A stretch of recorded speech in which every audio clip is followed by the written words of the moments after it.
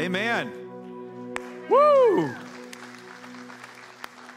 Well, there's two stools up here. One is for me, and the other one is for our long awaited pastor, friend, brother Carl Gulley is going to be with us today. Oh, they're already coming.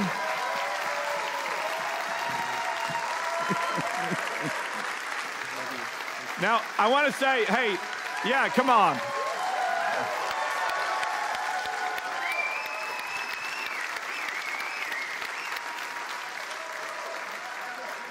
obviously the welcome is already there, but you guys stole my thunder. I asked Carl, I said, hey, how much did you weigh when you left? And he said, I was 5'10, 195. He said, I'm coming back at 5'9 and a half, 180. Just wanted y'all to know that. That's how I wanted to introduce him, but you guys beat the thunder. You are loved, my friend. That's good accountability when they start talking about how much you weigh at church. You're like, better yeah. keep, stay on that bike. Better, better keep, keep hammering it out. So. You're loved. I feel the love. Feel Good. Very overwhelmed. Well, Thank here we you. are. We're here in the big house. You're yeah. back after a year sabbatical.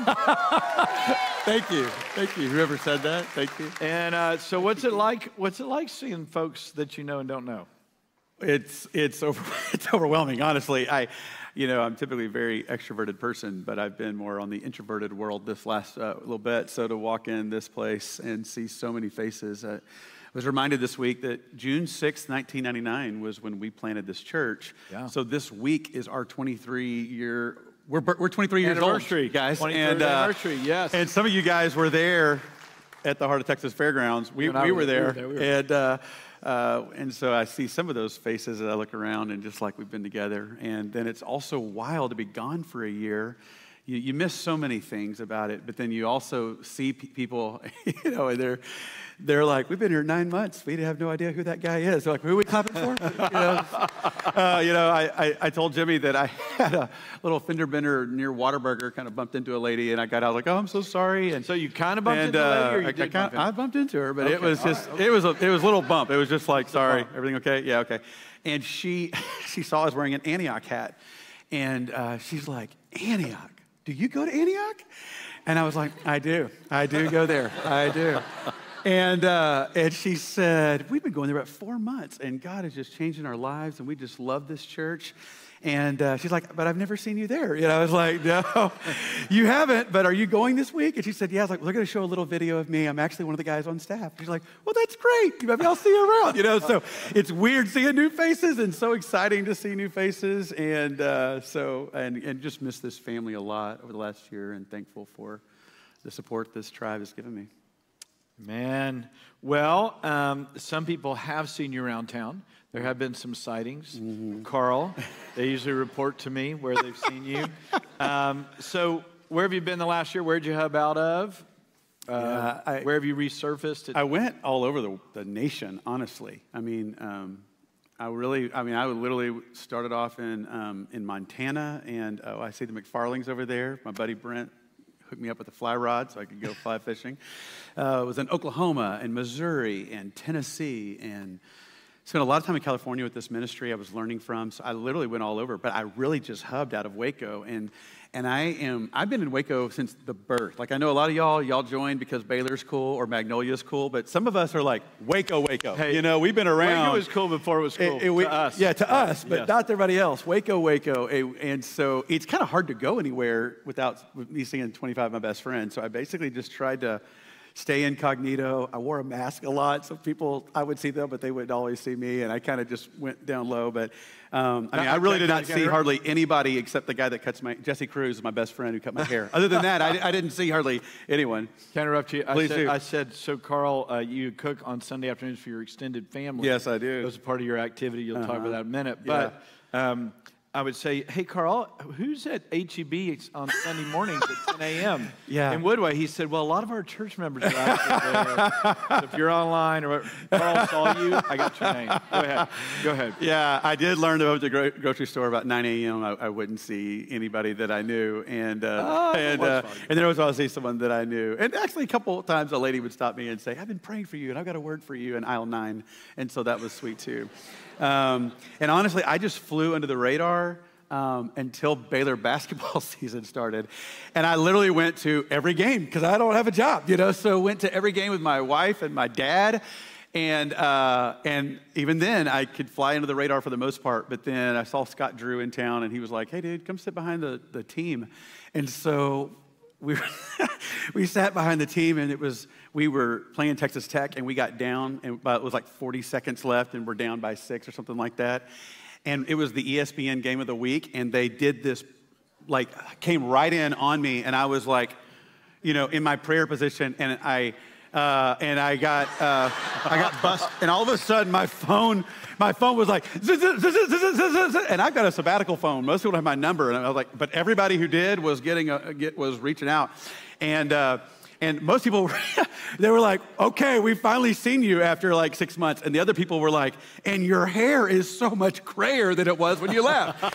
and uh, I was like, I promise it's not that gray, it's the lighting. There's a lot in there. But uh, so after that, people started seeing me more. And then, I, and then I went to the Big 12 championship, and everybody saw me there again talking to Everyday John. So other than that, I flew, in, I flew under the radar. but then, the ESPN. But other than star, being yeah. the ESPN, I, I mean, when I went back and watched it, you could hear the announcer said, and they're praying in Waco, Texas for the Bears to come back. And I was, but it did not work. work. Yeah. So I don't know that I'll ever get invited to sit behind the team ever again, but it was an honor to get to go, and I did. So.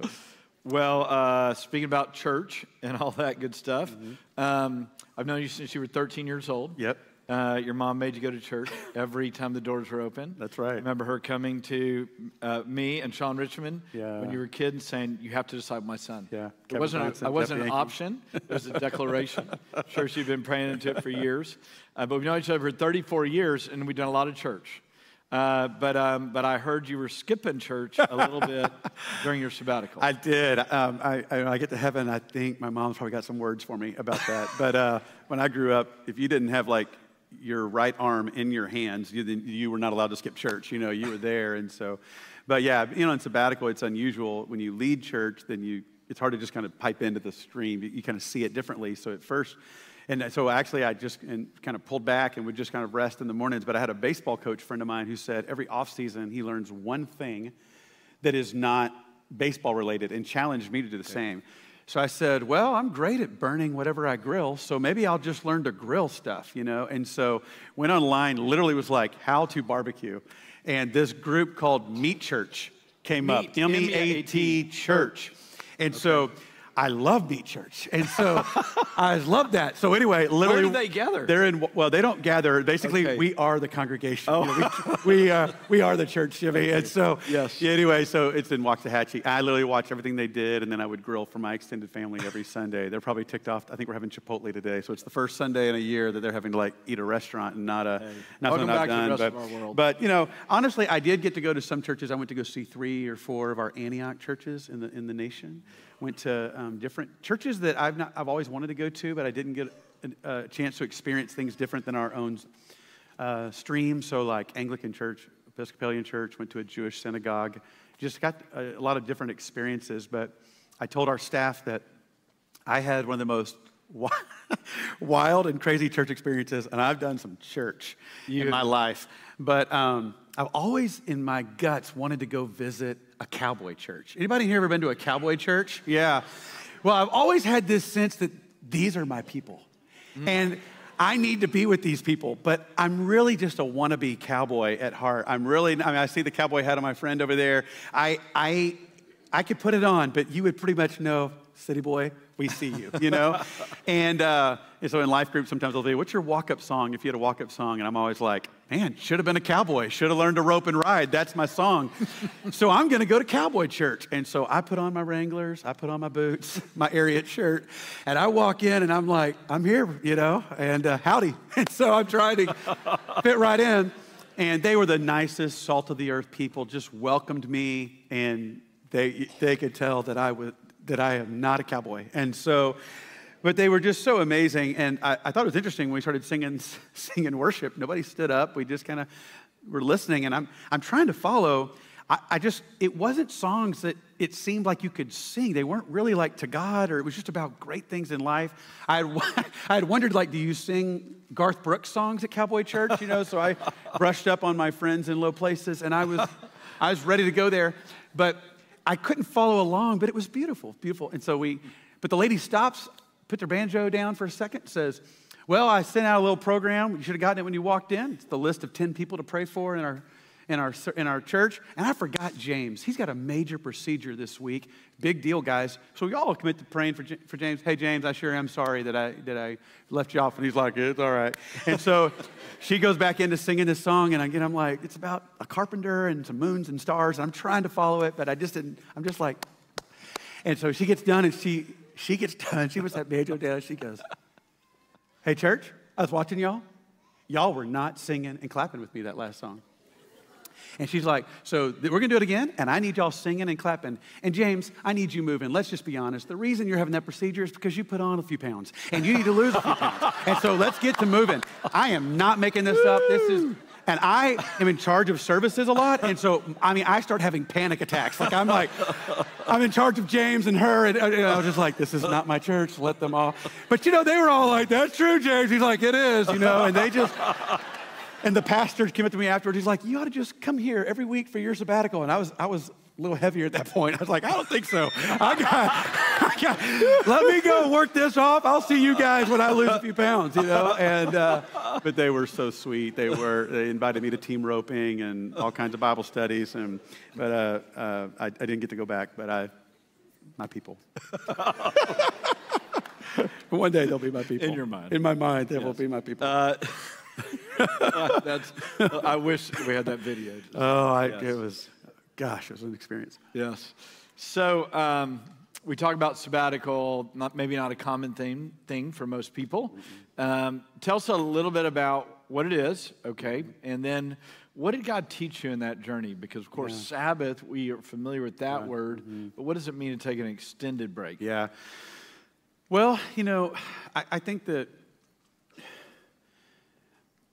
it, it, it's really interesting. The idea of sab- sabbatical is kind of catching on, even for professors to go on extended breaks. And I'm hearing business leaders are taking sabbaticals. It's becoming a word, but it's not been something that we've done a lot of. And if I'm really honest, I think I had kind of an, a warped idea of what it was. Uh, like I either go away and write a book, or, or I kind of thought this is something that we reward people with. Like you've sacrificed a lot, you get a sabbatical, or it's something we give people like you're really messed up, so we'd like you to take a sabbatical, you know? and I'm not saying that both of those couldn't have been true to a degree, but, but I think that my, uh, I was talking to my counselor about this, and um, I just want to say thank you to all the counselors. We need more counselors, and um, I, I, hope everybody, I've been, I've been so blessed by my counselor and my spiritual director and a leadership coach that I have, and I was like, gosh, I should have been doing this the last 10 years, but but um, and he, when he shared with me that the idea of taking an extended break, at first I was like, oh man, am I that messed up? And he was like, Why are you asking that? And I'm like, Well, I don't, I don't know why I'd go away that long. And he said, I, I think you got a really, it's, it's not that you're messed up, you have a, a messed up view of what Sabbath is and sabbatical really is. And what God wants to do is take you away from this go to war, get out, go to war, get out, because you could be taking the battle with you everywhere you go. He wants to give you a Sabbath heart. And I think in the Western culture specifically, we kind of think we can all run at Mach 3 right. and then go away for seven days with our four small kids, get refreshed, and then come back, and then we're ready to go. Yes. And, um, and I, see, I see you, uh, my cowboy yeah, friend. I resemble that. Uh, saw that, amen. Yeah. And I think that uh, I, am not saying, I know that sabbat, a long sabbatical is not reality for 99% of people. That's why I'm very overwhelmed that this church would support me and that you and Laura and the elders would come behind me and support me in this time. And we do give sabbaticals to different leaders in our midst, but, but I just think that I'm believing for creative options for us as a people because our, we're actually not supposed to be part of a Western culture or an Eastern culture. We're supposed to be part of a kingdom culture. Yeah. And that kingdom culture has something much deeper for all of us. And so it doesn't mean that sabbatical is always easy. It's not like, oh, wow, you got to get everything you want to do for 12 months. It's not easy, but yeah. it's, uh, it's something I believe that we need to get to so we can get to the heart. So when you talk about getting to the heart, of course, mm-hmm. um, God spoke to you some. Mm-hmm different things that are life lessons, right? Yeah. Life changing for yeah. you. Mm-hmm. Uh, take us through a little bit of that. What, what has God been speaking to you, doing in you, and therefore obviously doing through you? Well, like I said, I, everywhere I'd go, people would stop me and say, uh, if, I, if, I, if I saw someone, they'd, they'd be like, man, so excited you're on a break, but I would hate that. You know, like, is that, is that hard for you? Um, you know, or I'd have people say, I'd be going crazy if I, if I had to go through that same thing. And uh, one of my one of my buddies, he said, uh, "I don't know what I'd do with myself. Like I would either just go work out all the time and be the most jacked, rip individual in the world, or I might just become an alcoholic." You know? and I said, "I I feel I feel what you're saying because the, the, thing is." Um, it, it is there are beautiful blessings to a sabbatical and if you do it right there's actually some challenges that you'll face along the way the blessing part is you get the time to rest reflect got to really go deep with my family, and Blair and I celebrate 24 years tomorrow. And so we'll be, and uh, spent a lot of time with our family and our kids, and got to really have some experiences that will that I'll talk about for the rest of my life. A, a, well I'll drink from for the rest of my life. So I'm grateful for that. But at the same time, it, it can get hard if I'm really honest, because um, the first day I went out to my friends at Sikora's place, and I'm like, okay. I'm going to spend time with God for a long time. I'm going to read. I'm going to work out. I'm going to rest, take a nap. And I got done with all of that, and it was noon. and I was like, oh, shoot, I've got six months of this. What am I going to do? I'm, or and then it turned into longer. And so, you know, uh, I said I turned into an introvert on this break, and most introverts really treasure the time they get to have by themselves. But I learned about a sabbatical is it's not, it's not do you want to go be by yourself? It's do you actually know how to slow down enough to be with yourself? Mm. And if and really be okay, I'm with God, I'm with myself, and that's about it. A few close friends along the way. And so, um, you know, we don't often, I think, especially in our go busy world, a lot of activity, which is not bad. It's not bad, but we just don't often then want to pause and wonder what's going on underneath all that activity. Matter of fact, I texted a friend of mine and recently, very simple, how you doing? And he said, well, I'm doing great because I'm not thinking about how I'm doing. And I thought, that's kind of how I can feel at times too. Like as long as I don't think about how I'm doing and what's going on down here, I'm okay. Um, and uh, it reminded me of about four or five years ago, I had a, a more serious wreck. And it was a serious wreck. My car was totaled. And I remember uh, like, like that day you and Laura came to check on me and see how I was doing. And I was literally like, I'm great, I'm fine, I'm, no problems, no pain, I'm good. Um, and about a week later, I was at a birthday party and um, people were making me laugh and I was coughing a lot with allergies. And I thought my insides were going to explode and I was in so much pain. And all of a sudden, I was like, wait a minute, do I have like internal bleeding or something from this wreck? And I got with the doctor and he said, no, you just had a lot of adrenaline coursing through your veins and now that adrenaline is worn off and you are feeling what happened instantaneously in your wreck. It, you were bruised all on the inside. You just didn't feel it. And I think that for all of us, especially the last few years, but all of us, life just chips and chips and chips and bangs and bangs and bangs. And for some, there's even more traumatic elements that happen or tragedy. And our adrenaline, especially if, if things are, if, even if there's good things that are going on and great stuff, it can carry you. But if that adrenaline wears off, you're stuck having to deal with the, the stuff on the, on the very um, un- underbelly of that. And so for me, when I could actually be with myself, I, I was like, oh, I have some grief I've not attended to. I have some anxiety that I didn't actually term as that because I didn't think of myself being anxious, but I'm like, that's actually anxiety. I've got some doubts about God that I would have rather not admit. And so it was really given the grace to kind of do that, that deeper dig and and guys, that, I'm just gonna be honest, that wasn't easy. I mean, Jimmy and I talk about this all the time. Just because we're pastors, we are not immune from the toll that life takes on us. And so, you know, as I've told you, Jimmy, it was at that point that I had a decision to make. Like, um, because I believe that we were made for comfort, but that we will settle for relief. Mm. Like, God made us he made us to be comforted by His Spirit and to meet Him at a deep soul level. But with the intensity of life, we'll just settle for relief and we'll medicate with activity or entertainment, which are wonderful things, but taken to extremes can be hard things, or just kind of distract us with activity. And so for me, I had to decide am I going to do this courageous soul work? Am I going to dig down deep? Um, or am I not? And so, um, yeah, it was a beautiful invitation from God. Again, not always easy. I mean, he, he, I think I saw some places where, places where I would have, um, yeah, I wouldn't have gone there. Like even in our preaching, a lot of times I'm preaching about a topic on Sunday, and if I'm honest, I don't know how current I am with the revelation of that topic. Right. And we, and we always feel this way, which is why I always say, thank God I'm a preacher, because I spent all week going, Lord, I need to be aligned with the Word me. of God. Right, do this yes. in me, because I can't get up there and tell y'all to do something that I'm not living. And I try to be vulnerable when I'm not, but you can only do that so much before you start to feel like you're a split soul. You're saying something that you don't really believe. Mm. And, and you believe it mentally, you believe it in the mind. But the question is, do you have revelation about it in the gut? Mm-hmm. You know? So we all know God loves us, you know? Or you want to come to church today without that novel thought that we serve a God that is the only God that is loving towards us. But, but then when you get rocked by suffering, you start to go, Are you really good, God?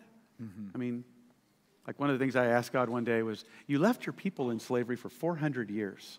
Mm.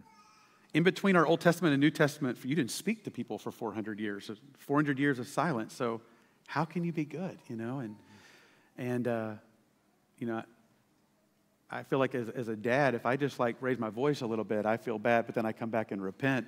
You were okay with 400 years, so can you be good? And then when you do undertake different sufferings and, and, and very traumatic events, it makes you go, Do I believe that He is good at the soul level? And so, not talking about it maybe give me grace to just go dig deeper digging in it, and uh, and I'm grateful for that. But it wasn't it wasn't it wasn't easy, you know. So, me, where'd you land with that one? Um, well, I would say I'm still, honestly, I'm still kind of unpacking. I'm going through the scripture, looking at different places. Um, I believe that where I landed is that God never promised us rescue, He promised us resurrection. Mm. And so He is not always rescuing me. And if I'm honest, I mean, a lot of the scriptures I personally love are the woman who reached out for the hem of his garment and was healed instantaneously. Well, what if I'm reaching out for the hem of his garment and I'm not healed instantaneously? Mm-hmm. It becomes hard to read that, and then it becomes hard to go to church and sing a song about one more time around the wall and it'll fall. But the wall's not falling, you know? And again, it, it just more, I began to just, I, I really studied the life of Joseph some, and I just was going, I began to see that all these different places where he'd, he'd peak for a moment and then he hit a hard valley. And the scripture always says, and the Lord was with him. The Lord was with him. When I get to heaven, though, I'm going to ask Joseph, did you feel like the Lord was with you? and I have a gut, he's going to be like, no, I went to prison. I did not feel he was with me. And, uh, but man, and what was the purpose? The purpose of Joseph's mm, life? Right. Was it to be the second in command in Egypt? Was it to be back in his people's world with a, with a multicolored coat? Um, but we see his resurrection even with his family, the redemption of what happened with his family. And he tells his brothers when they are in that place, he looks at them and he says, um, Don't hold this against you, for God brought me here. Yes. That there might be greater redemption for all. He saw his purpose in the resurrection at the end. So, uh, where I landed there in the end is that he doesn't always rescue me out, but he'll redeem me out. And so, in the process, feeling like anguish, you know, I I told the last service this verse, it's meant a lot to me, is Galatians 4:19, where Paul said, My dear beloved children, I'm in the anguish of childbirth for you, so that Christ might be formed in you.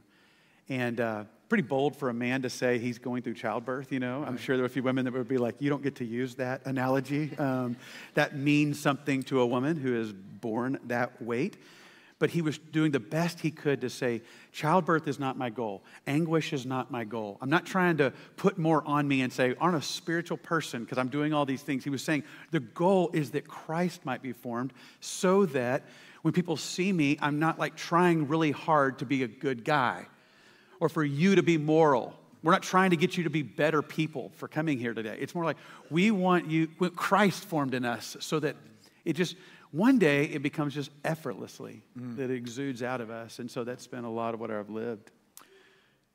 Beautiful, powerful stuff. We had, uh, and in a weird way, it's an answer to a prayer that we have both prayed uh, in 2020 and 2021. Those were those were tough years, right? Yeah, not, and not uh, and Carl and I we did one podcast together after one of those uh, Sunday peopleless uh, deals that we did into oh. a camera Right. And uh, we went up and did a podcast, and we talked about that scripture where uh, Paul said, I want to know you in the power of your resurrection, right? The hem of the garment for healing.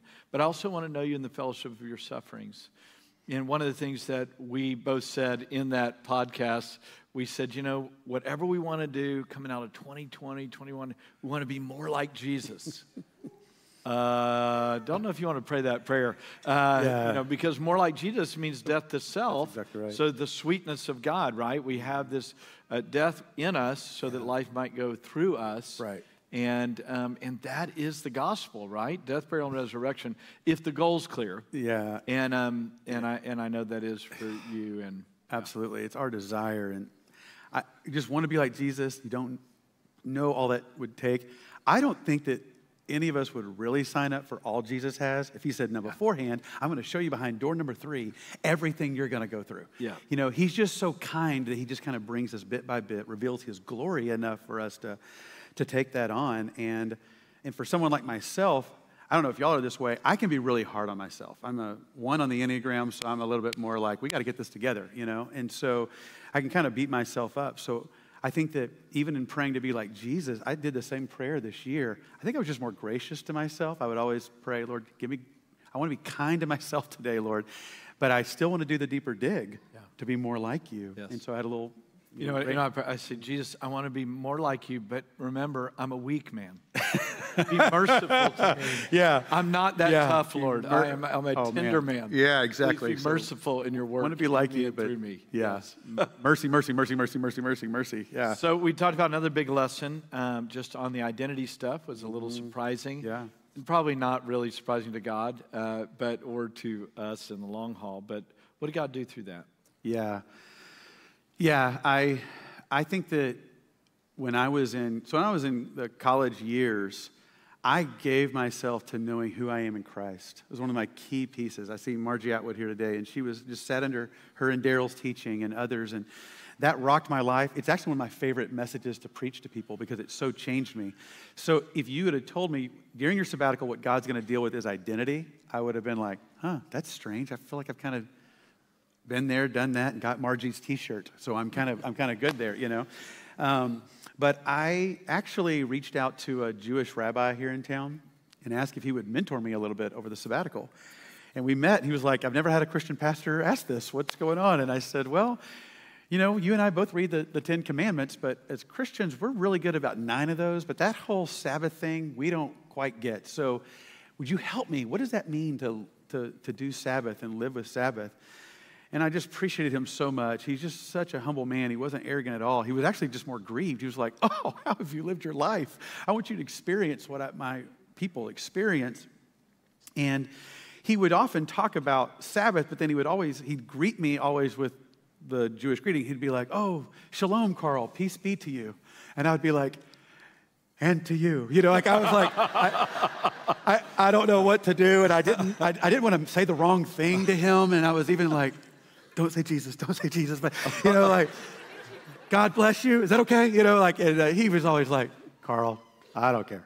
We, we you know, we're, we're, fine here. But as he, I, he started to unpack shalom for me, and I always knew what shalom meant in the sense of peace. And last week, when we started the Names of God series, uh, Weston talked about the name Jehovah, the I am. And then there's all these statements that we'll unpack some this summer. And, but the Jehovah Shalom I knew was peace. But my rabbi, my rabbi, my rabbi friend helped me see that he was like, it's not just peace, it's wholeness. Mm-hmm. To the Jewish people, it meant where everything about your mind, your soul, your body, your spirit all came into alignment mm. under God's leadership for a wholeness that you were made for that you don't always taste. And so for me, I began to realize there's what is rocking the the wholeness, that shalom. And I would, I realized it's really going to typically be a wound or a lie. And the lies that I evaluated that I think most of us all face are I am what I have, I am what I do, and I am what others say about me. And again, Review I wouldn't those lies one more time. I am what I have, okay. I am what I do, and I am what others say about me. Now, again, I know those aren't true. But if I'm honest, I began to realize that there's some, there's some places that I, I believe that those things are not true, but I actually live in them as if they are true. So, um, because I'm a doer, I'm a, I'm a preacher, I'm a speaker, I'm a leader, I'm a crisis averter, I'm a, a discipler, and I'm a dad, and I'm a husband, and there's just a lot of roles as, that I hold. And then a sabbatical, it was kind of like I'm a iPhone plug with all these charge, things going out, and someone started unplugging all of those, and now I don't have that anymore. And I was a little bit like, who am I? And so, and even reevaluating some of the hard things I go through in life. Like for me, preaching is part of what I do. And so as preachers, you, you, you walk out every Sunday. Your buddy had that quote one day, like, what was it? Like, I walked out of church today and I didn't want to shoot myself. I felt it was a great sermon. great you know sermon. what I mean? You know, and Yeah, sometimes we exactly. can feel that way as preachers. We carry your transformation on our shoulders Yes. through our words. Now you don't feel that way. You're like, hey, that was great. Or not. Don't tell anybody we forgot, but it was great. Well, I don't know what you talked about. You, know, you don't feel that way, but we can carry it. Or if someone even leaves our church and they're mad because of something I did, I want to love people well. I don't want our systems to be in place so people don't do that. But then when it happens, you can just be like, I am what I do. I am what I do, and I'm not doing great. I Spoke to so many friends that I met through this journey, meeting so many people, especially in their 40s and 50s, of all walks of life, who talked about the last few years, things just tanking. And it could be as simple as my kids aren't doing well, my, their grades aren't going well, my business isn't doing well, my song career's not going well. And we don't know, mean to, but what- something inside of us is going, I am what I do. I am what I do. And it, it's taking a toll. And so I think that what God began to do in me was this work of abandoning the outcome to Him. Mm.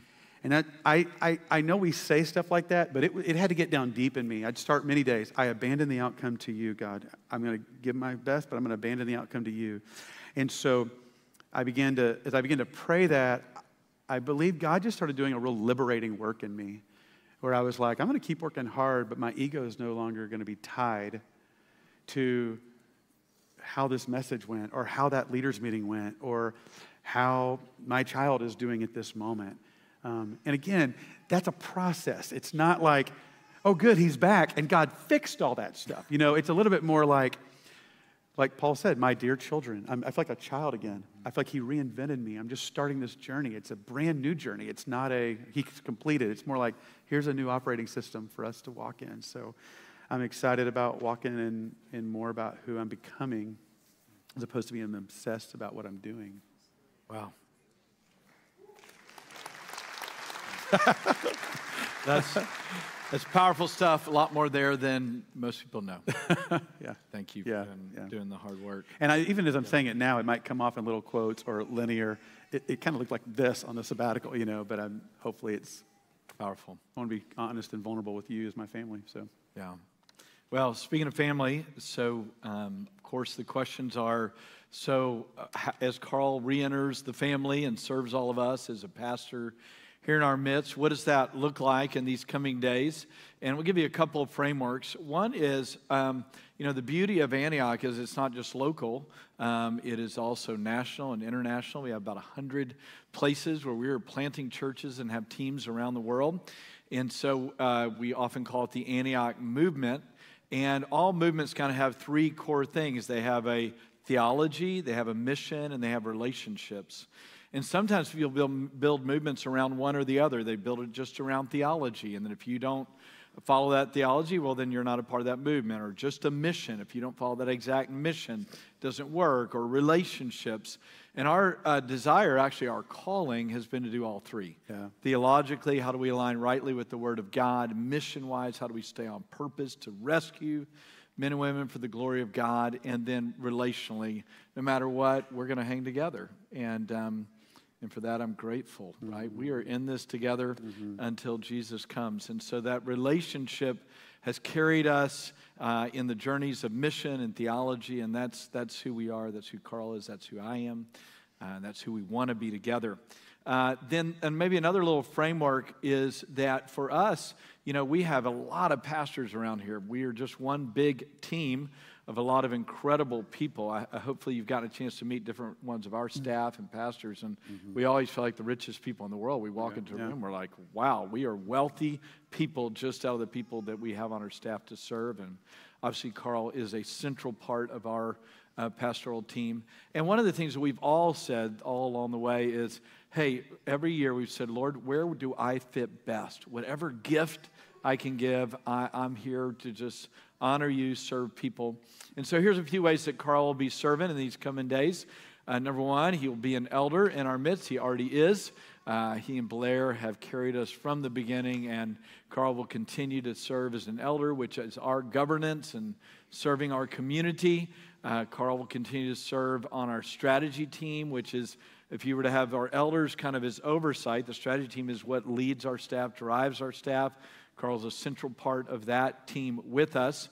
And maybe a unique piece, and it's really not that unique because you've always done this, but is that we are charging Carl in these next few months on all of our behalf to connect with you. You know, 2020 and 2021 still lingers with a bit of a tail to it where people still feel disconnected, uh, still wonder, where do I fit? How do I connect to what is currently going on? And for us, that would be in Antioch, and how are we serving here in our community around the world? And the need to get in small groups, to have 100 coffees, to sit down and talk with people, maybe questions that you've had uh, through the years. Uh, I can say this of of Carl and uh, of Blair is they represent us and they're able to speak on our behalf uh, as a community. And so we're asking Carl to connect us, reconnect us here in our city and, uh, and to connect with you. So you will be uh, there won't just be random sightings on ESPN. You will see Carl live in your house and gathering people face to face and uh, and house to house. A part of that. And Carl, why don't you just comment on that? Your heart for the church right now. What what your heart to connect everybody to what God's doing. Yeah, I thought a lot about the church while I was away my sabbatical, and um, you know, one of the things I do is I travel to a lot of our U.S. churches, and I, they they asked me to talk about authority and how relationships work in families and churches and and I always quote Hebrews 13, 17 as a sobering reminder to us in the church where it says, Obey your leaders and submit to them. Those are very big words. And it, says that, that they might do their job with joy and that it would, you know, not be troublesome to them. And then I always say that and say, let that kind of be a sobering reality that that's the, that's the, there's some, there's some of that that happens in families and churches, et cetera.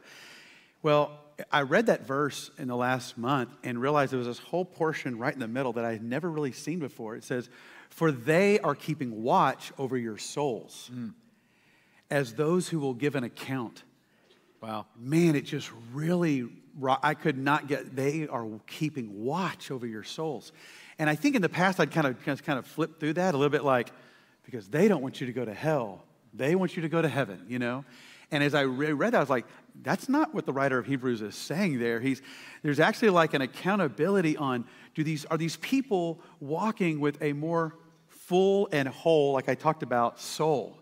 You know, as even as our, the intensity of our, our times and our lives um, increases, really are we getting what we need at the soul level? So I, I kind of saw it like a new job description. Like when I'm sending you back in, Carl, is the soul keeper, if you will. Like you'll be held accountable for the souls of the people. And so a lot of what I have is just a fresh compassion, I think, for all of us who have taken a real hit the last few years uh, or have just a fresh desire for God and our families and our, and our churches and our city, but just feel a lot of the miss. So a lot of that is my heart is to get people where they feel full on the inside and connected to what we're doing as a church and in this amazing city. Those are a few thoughts. Great. Hey, before I turn it over to you, just a couple other things that of course, we, we've talked about this, but that Carl will be doing. He'll be a teacher in our midst, as you guys have always enjoyed. I've enjoyed one of my favorite teachers in the world. And uh, this summer, we've got several other pastors leading. Carl will be back up in mid August, and uh, he will be a part of our teaching team, of course.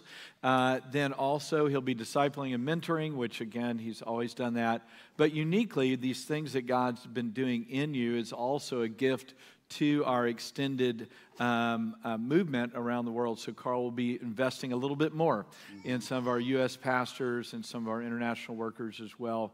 So, our gift to the body is back, and uh, we are so honored and so blessed. And, uh, and maybe I, I want to uh, say one last thing here is uh, the scripture that comes to mind is uh, out of James. It says, God is opposed to the proud, but gives grace to the humble.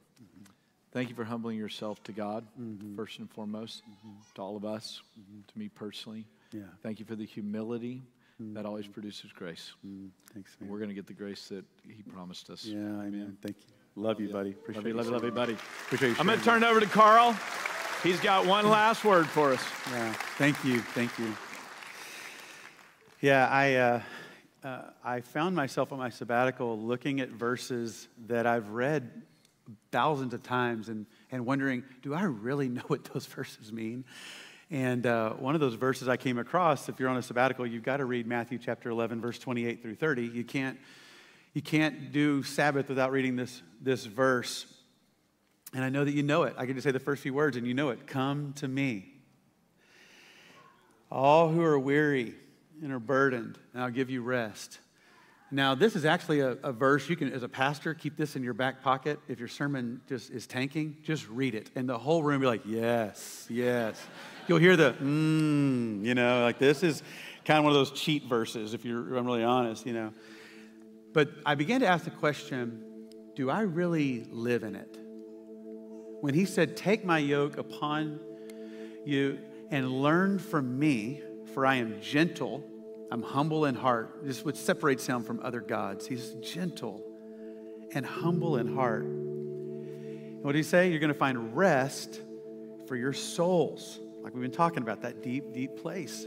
He says, For my yoke is easy, my burden is light. And I think that this would have meant a lot to the people that day, especially as an agricultural people, because he's speaking to them and he's just going, Are y'all wiped out by the religion of your day? Are you so tired of feeling like I'm a spiritual loser because I don't pray as much or read as much or do as much or know as much and don't even really still know what a sabbatical is? I guess real spiritual people do that or Sabbath or, you know, like, I just, are you kind of tired of not measuring up? And are you, because you're feeling like you got to push it to the finish line. And we got to get this. It's on my back. And not just spiritually, but also in my family and in my job. And I just push and push and push. So it's interesting that Jesus flips the script. And he goes, I want you to know rest in your soul. So I'm going to give you a work tool. Isn't that weird? To get rest, I'm going to give you a work tool. But the work tool is a tool, a yoke, that's going to fit over one oxen and another. And instead of pushing, they're going to pull together. And now there's going to be a weight distribution that is right. You would never put like an ox and a deer together. Or that ox would just pull, the deer and be like working hard. But that's a lot of times what we, we do. We're like, I want to keep up with God, or God, I'll get this and I'll take off and I'll do it. And we're running around, and the weight is not distributed, dist- distributed rightly. So Jesus is saying, Come to me. Because what you, you want is you, you think you want relief, you think you want to feel better, you want some peace, you want a feeling. But I am that peace. So come to me.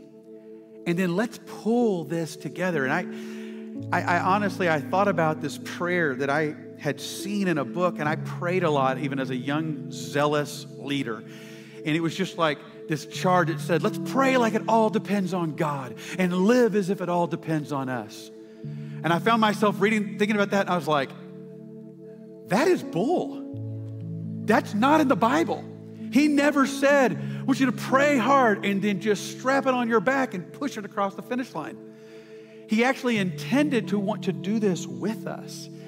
And so I, I, I went back and I read before that in Matthew 11 25, it says, Jesus was speaking to the crowd and he, he prays and he says, I thank you, Heavenly Father. You've kept all this from the wise and learned, meaning the, the religious people who think they're all got everything in a row.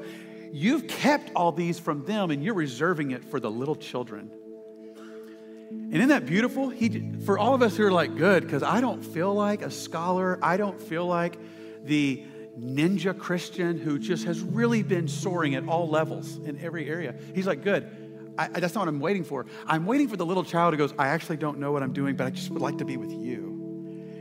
And he says, Well, take this yoke on me, on you, but it's going to be connected to me, and then there's going to be a weight distribution that pulls this together. So you're going to pull your family, you're going to work with me, you're going to see this as a, as a we thing. And so, even just right now, I just encourage you to, to stand to your feet and, and open your hands because I, I want this. What I don't want is I don't want this to be the kumbaya moment that you're like, by the time you get to the kids' ministry, it's gone, you know?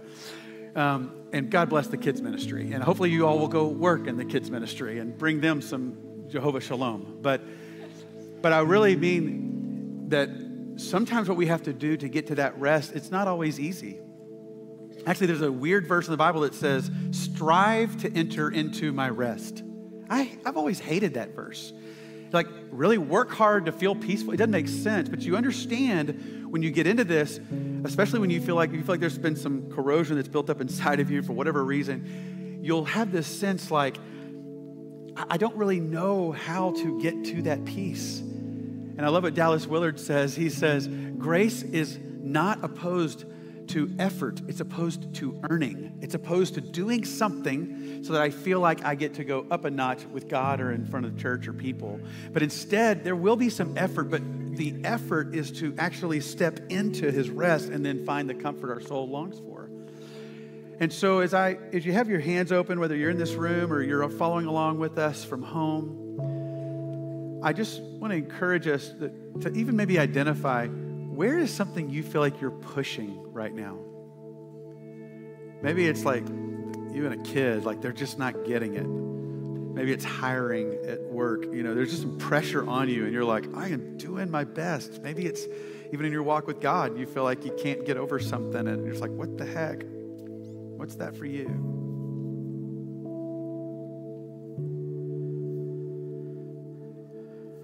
I just invite you almost like you have those in your hand. I want you to abandon that outcome to God and just open your hand to God. Meaning, a lot of times a golfer will hit the ball and then like start kind of willing it to go a certain direction with his body. But instead, God just inviting you, give it to me right now because there's, you can't will it there. You have to give it to me and let me pull with you to get there.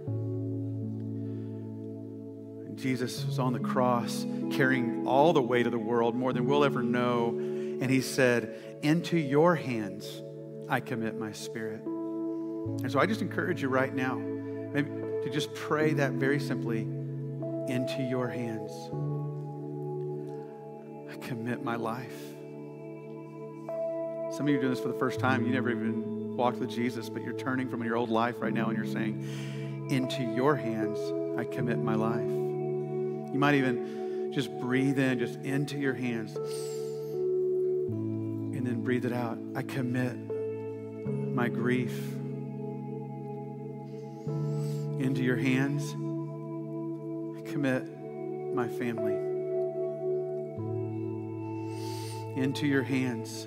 I commit the future that I don't know what to do with into your hands. I commit our country into your hands. I commit my spirit. We thank you, Lord, for being our good shepherd. And this morning we, we enter into this yoke of rest with you, thanking you that you you're taking some of the weight off of us that can be distributed. May there be grace, even all day long, little reminders all throughout the day to just pray that little prayer. Into your hands we commit our spirit. And as we do, May we find the soul comfort and rest you promised. In Jesus' name. Let's go to the shepherd now.